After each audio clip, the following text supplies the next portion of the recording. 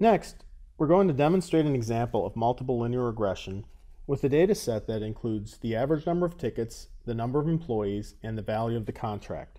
For this example, we're going to use Microsoft Excel.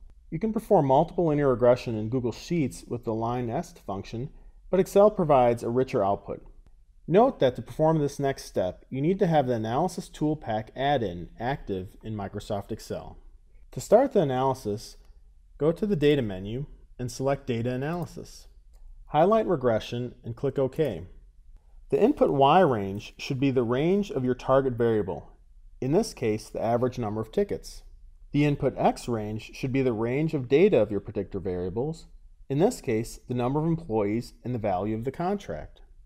Clicking OK will run the model and provide an output.